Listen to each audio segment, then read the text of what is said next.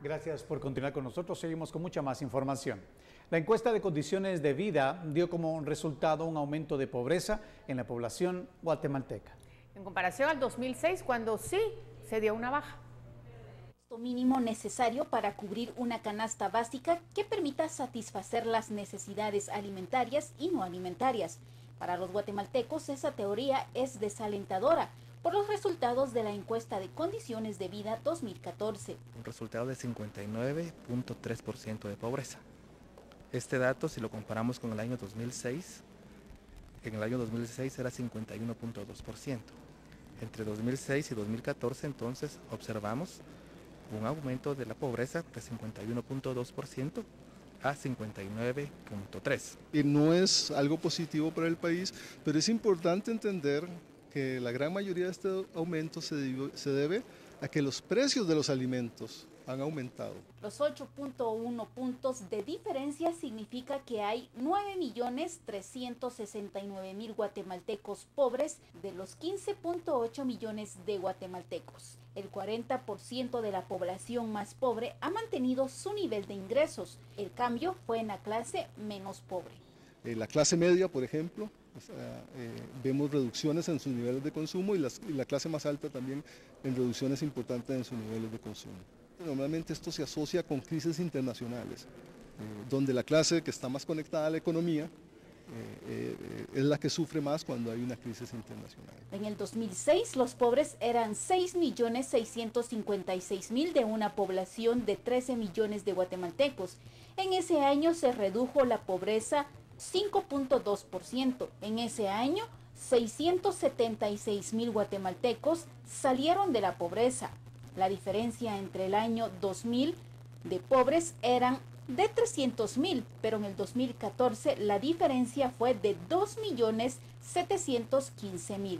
Con los resultados de esta encuesta se analizará cuáles son sus efectos y qué ha llevado a la población a la pobreza. Es un periodo del 2006 al 2014, son ocho años. Entonces, varias cosas pudieron haber ocurrido en el, en el medio y todavía no hemos hecho los análisis respectivos para poder dar una respuesta satisfactoria. La ministra de Desarrollo dijo que el aumento de la pobreza es una preocupación como ciudadana y funcionaria y señaló que entre sus objetivos está el reducir los índices de pobreza. Lamentamos mucho que la operatización anterior la haya politizado. Y yo sigo eh, haciendo énfasis en eso porque el daño que le hicieron al país, profundamente desde el caserío hasta eh, lo que es el ministerio, el despacho si lo vemos desde la parte territorial, desde el caserío hasta la capital. Por eso es importante sanear esa ejecución y generar una observación de política social del gobierno, indicó por una Guatemala en paz, Ana Lucía Morales y Rafael Ovalle. Y hoy se conmemora el Día Internacional de los Derechos Humanos. Sin embargo, el Procurador de los Derechos dijo que este es uno de los principales retos para el próximo gobierno, ya que no son respetados y los más vulnerables son los niños, mujeres y guatemaltecos de escasos recursos. En el marco del Día Internacional de los Derechos Humanos, la Procuraduría de los Derechos Humanos realizó una serie de eventos para informar a la población sobre los derechos que posee e invitarlos a denunciar si no son respetados. El procurador resaltó que la corrupción afecta al incumplimiento de los derechos debido al desvío de fondos en las diferentes carteras. El hecho de que uno de cada dos niños nazca con desnutrición crónica. Así que como institución del procurador haremos un estricto cumplimiento y fiscalización a los programas, al programa, que independiente de si le cambian el nombre o no, pero, pero que tiene que ver con la desnutrición, el Pacto Hambre Cero. Y el tema de acceso a la información también creo que es importante, porque el desvío de los recursos, la corrupción debilita el respeto y el funcionamiento de, las entidades para garantizar los derechos humanos. En cuanto a los derechos de niñas y adolescentes, el principal desafío para el gobierno de Jimmy Morales será reducir la cifra de niños que trabajan para ayudar en sus hogares. Según datos de la UNICEF, son más de 700 mil. Son muchos los niños y niñas que están trabajando muy temprana edad cuando ellos deberían de estar disfrutando de su niñez. Hacer un llamado al garante, en este caso al Estado de Guatemala y al próximo gobierno para que realmente ponga atención a la niñez guatemalteca. El Estado deberá fortalecer el acceso a la educación para que más niños tengan acceso a ella. Por una Guatemala en paz, Lourdes Batres y Luis Acche. Y para la Oficina del Alto Comisionado de los Derechos Humanos de Naciones Unidas, el próximo gobierno deberá enfrentar diversos retos en temas de derechos humanos, ya que el Estado aún es débil y no ha sido posible implementar planes concretos por la falta de políticas que respondan a las demandas ciudadanas. Las carencias son fundamentalmente que el Estado eh, es muy débil, tiene una dificultad en implementar, digamos, algunas políticas públicas. Hay que fortalecer el Estado eh, porque, de lo contrario, eh, digamos, la atención que va a, la población más desposeída, pues, ¿quién la va a hacer? No, digamos, todas las iniciativas de, caridad, de ofrecimiento, son, son muy buenas, se, se alaban y se reconocen, pero realmente hay una responsabilidad del Estado de implementar políticas que respondan a la demanda ciudadana.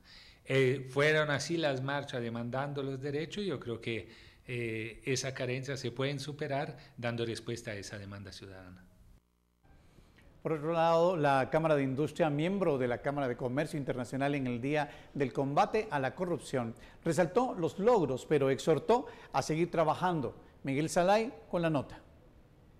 El presidente de la Cámara de Industria destacó la importancia de la persecución a la corrupción en el país, no solo en el ámbito público, sino en el privado. Así es que eh, reconocemos los altos niveles de corrupción en nuestra región, el alto costo que la corrupción eh, significa y representa para eh, los países latinoamericanos y por otro lado que aún faltan acciones concretas, aún más concretas tal vez, para combatir la, corrupción de frente. Por lo tanto, hemos declarado rechazar todo acto de corrupción, ya sea desde el sector público o del sector privado, de cualquier actor de la sociedad. También resaltó la labor de la Comisión Internacional contra la Impunidad en Guatemala. No obstante, dejó en claro que hay que seguir trabajando para erradicar la corrupción. Se refirió también a la importancia de la ciudadanía para procurar los cambios en el sistema. Creemos que se ha avanzado muchísimo, se ha avanzado bastante, pero aún falta mucho camino por recorrer. Tenemos que aún generar una cultura de denuncia mucho más fuerte el guatemalteco tiene que aprender a denunciar sin temor. Es importante fortalecer también el sistema de justicia, eh, no únicamente el organismo judicial, sino que el Ministerio Público, el organismo judicial, el, INASIF, por mencionar algunas instituciones. Cepeda es enfático en recalcar que no se debe crear más impuestos para financiar la justicia del país y que en lugar de ello se debe eficientar el tributo de los guatemaltecos. Por una Guatemala en paz, Miguel Salay y Marvin Pérez. Y vamos a cambiar el tema porque en Jutiapa fue capturado Carlos Antonio Cuellar Trabanino cuando producía y reproducía pornografía infantil. El operativo se realizó en Asunción Mita, en donde también se decomisaron varios materiales pornográficos.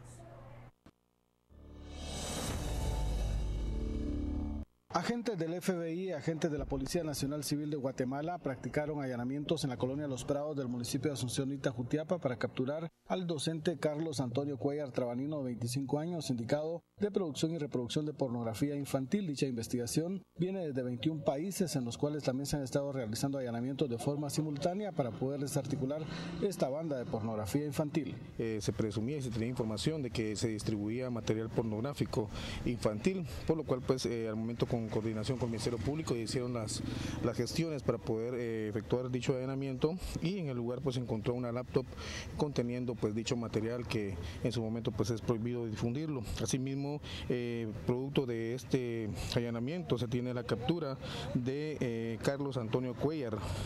Esta persona es de 25 años de edad, el cual pues se le informó pues de, su detención. El operativo Sin Fronteras continúa en el municipio de Asunción Nita y en otros municipios en los cuales investigadores están trabajando para tratar de dar con otros responsables que están cometiendo estos ilícitos. La justicia dirá lo que mejor convenga, ¿verdad? ¿No perteneces a ninguna red internacional de esto? No, para nada. Yo actualmente no trabajo, ¿verdad? Estaba repitiendo una casa, pero ya dejé de, tengo dos años de no ser maestro. ¿va? Por una Guatemala en paz, desde Jutiapa para Noticiero Guatevisión, Darwin Pérez. En los casos resueltos vinculados a la pornografía infantil, el Ministerio Público ha detectado tres modalidades más utilizadas por los pedófilos. Estamos hablando de niños eh, de 7, 6 años que son los más vulnerables, que son los más manejables para este tipo de, acciones perversas. Fotografías de bebés y menores sin ropa, que se muestran en posiciones eróticas y en actos sexuales, han sido las más comunes detectadas por los investigadores, explicó la asesora del Ministerio Público, Alba Trejo. Las fotografías que se utilizan de niños eh, y niñas, pero también estamos hablando de las relaciones sexuales que hacen que los niños tengan los pedófilos, ¿verdad? Para poder em, darse gusto. La investigación que llevó la captura más reciente no logró detectar algún beneficio económico, en este caso, siendo la única finalidad de darse placer y compartirla con otros pedófilos. Son niños que son engañados o son obligados, a veces por alguien muy cercano a ellos, ¿verdad? Un profesor, estamos hablando, a veces hablamos de un tío que abusa de sus sobrinos. El Ministerio Público sigue la investigación para determinar hacia dónde eran enviadas las fotografías y videos. Hay alertas puestas donde la pornografía está siendo enviada. Entonces ellos eh, obviamente tienen una ruta de seguimiento y determinan eh, dónde está ocurriendo y quién lo está haciendo. Esa es una forma. Otra forma es obviamente la denuncia, ¿verdad? Esta captura es una de varias que continuarán en los próximos días. Se espera que con el material pornográfico infantil incautado sirva para poder investigar a posibles víctimas, en este caso alumnas del capturado. Por una Guatemala en Paz, Suseli Contreras y Héctor Chutuk.